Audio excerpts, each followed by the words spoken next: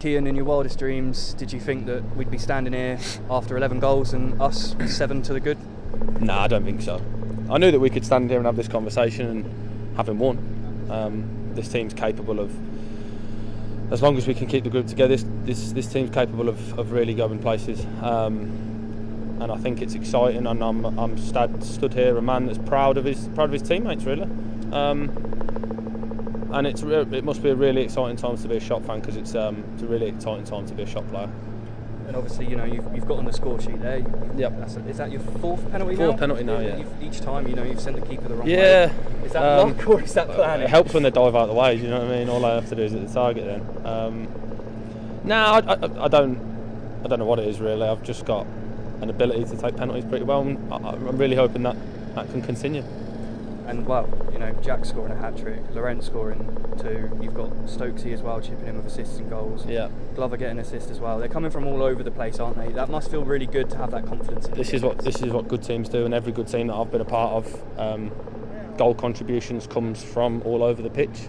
Um, and if, if the lads, uh, you know, behind, if I wasn't able to contribute, and AJ scored a couple, and Hadji scored, like the lads at the back, if we're contributing, the, the lads at the front of the pitch are still scoring. Um, we've got a chance of winning football matches. I've, I've asked this question to Tommy as well because I know there's perfectionists Yeah, in, in the dressing yeah, room. So yeah. is there going to be a little bit of annoyance? Oh, at, for sure. conceding the four goals. the For end? sure, I think. I think to be seven up was crazy, and and, and you almost know that they're going to get a chance because look, they've got top players. Like Charlie Austin's played, however, 200 times in the Premier League, probably scored 100 Premier League goals or near enough.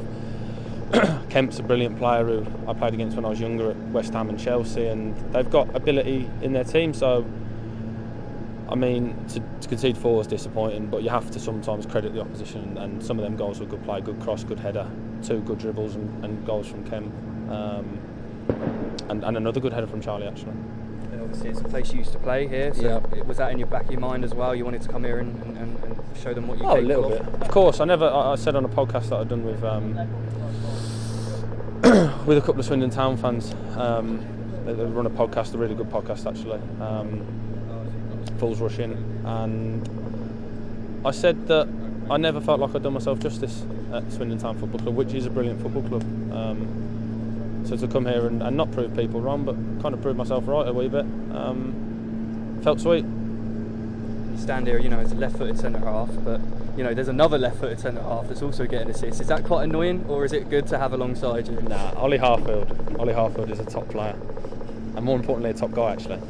Um, but again, contributions from all over the pitch, and in my opinion, I've not seen a better left, a left-sided player um, in the National League than Ollie. Um, that's my opinion, and he's contributing with, with assists, and he's got a really good relationship going with gloves. So, as long as this group can stick together, um, and I don't see why we can't, we'll, we'll we'll be going in the right direction. Well, that's it, isn't it? Everyone keeps saying that there's a bit of belief here in this squad. Oh, for sure. I- Is that just going to keep going, keep going in the league? Absolutely. Um, we were poor at Dorking last week, and we could have easily come here and sort of shied away a little bit, um, and we didn't. You know, we were however many up in however many minutes, a short period of time, and um, that's the reaction that, that we know that we wanted to give, and we know that we're capable of.